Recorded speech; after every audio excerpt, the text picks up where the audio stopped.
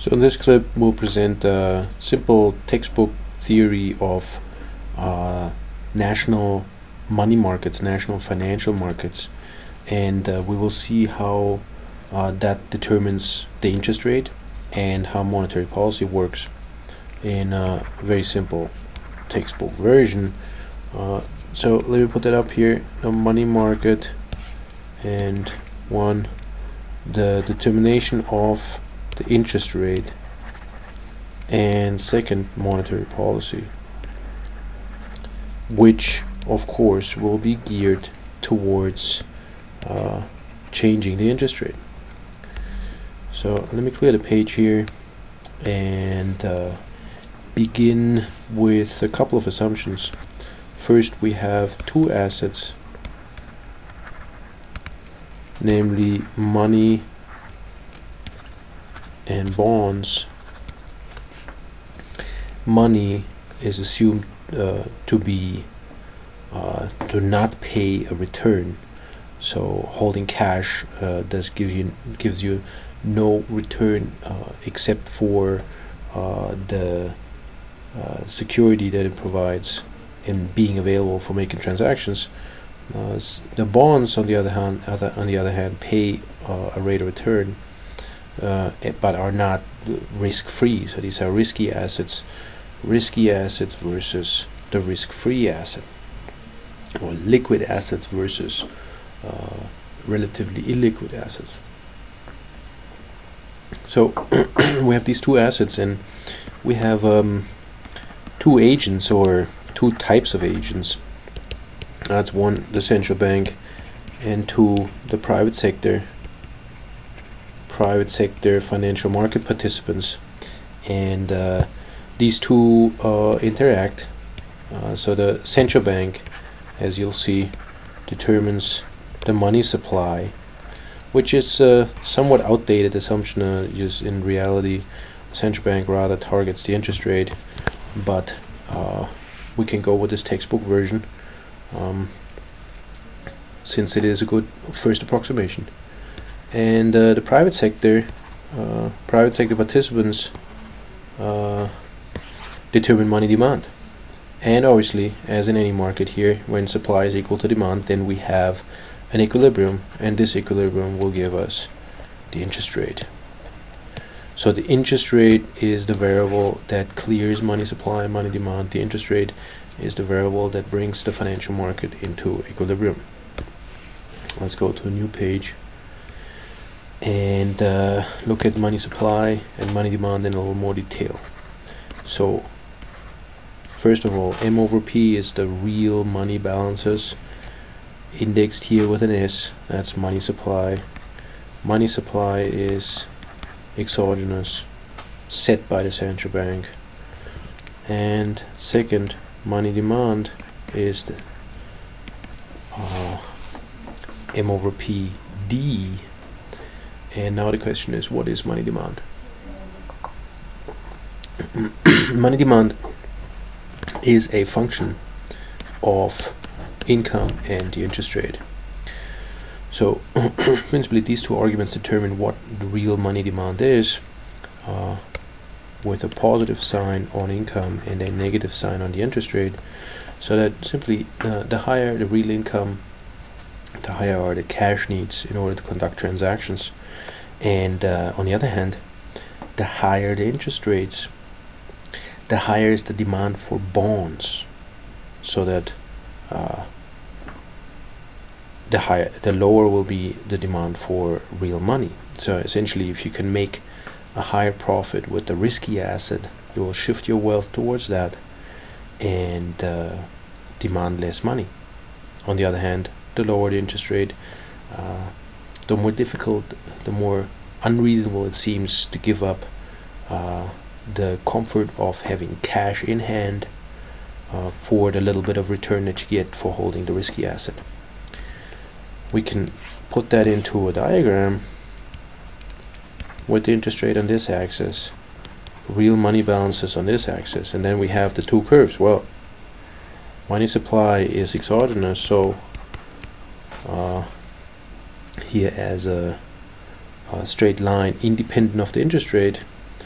And you see here y is exogenous to this diagram but the interest rate is not. So we can draw this line as a downward sloping function of the interest rate. Here's the money demand function.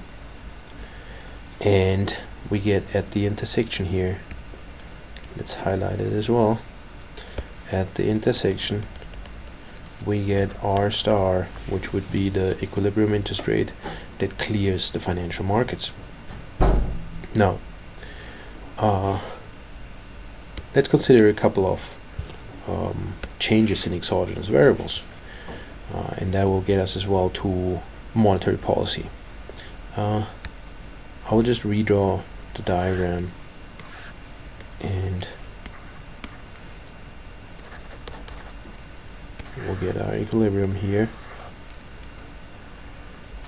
So the question now is what if we have a rise in real income? What is the impact of a rise in real income? We know that this is LYR and M over P is so we said that uh, the demand for money changes uh, with the same sign as the change in income so that that partial is positive since y is exogenous in this diagram we get a rightward shift of this curve. So we get a rightward shift here and we have ly2r where y2 is larger than y1 the original income. So what has happened here? Now if uh, in this situation you see real income has increased uh, and people have more people have higher cash needs in order to conduct transactions. Uh, so they're trying to get the the hands on more cash. There's only one way you can do that. You have to sell part of your bonds. So you try to shift your portfolio from maybe being heavy in bonds to being heavier in cash because you have those cash needs now what happens if everybody's doing that well you get uh, downward pressure on bond prices and the price of bonds is inversely related to the interest rate. So as you're getting downward pressure on bonds the interest rate rises and we're getting this increase in R. So here's R star 1 and here's R star 2 now we can do a similar thought experiment and consider monetary policy.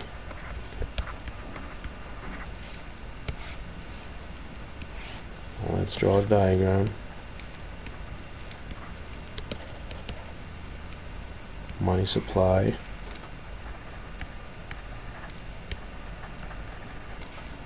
And money demand. What if the central bank wants to reduce the interest rate? Well,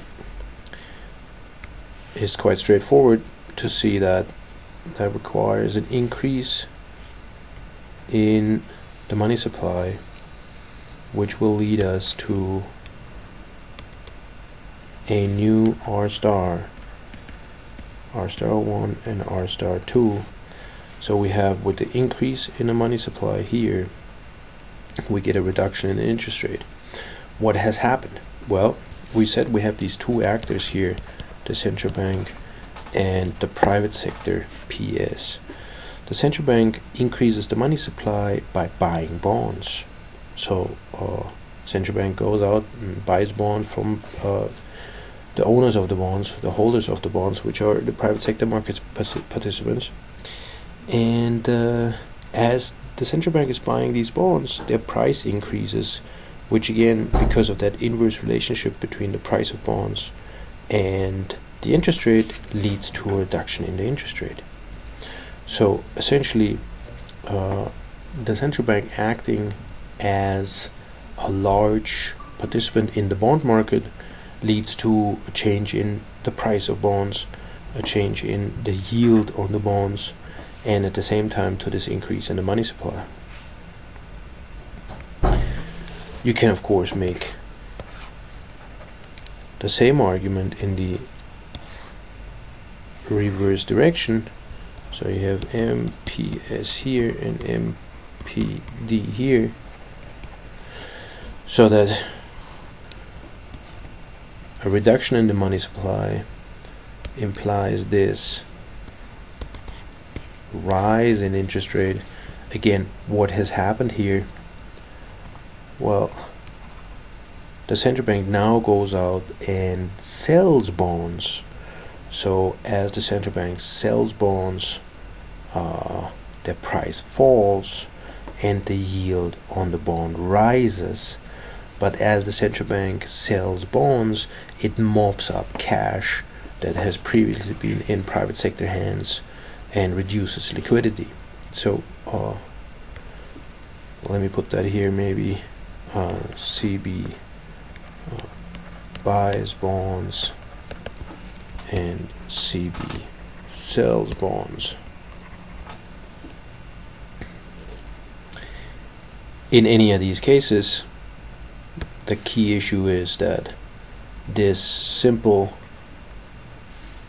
domestic national financial market with two assets gives us uh, a clear explanation what determines the interest rate uh, which is private sector uh, return seeking or security seeking behavior on the one hand and monetary policy on the other conducted by the central bank.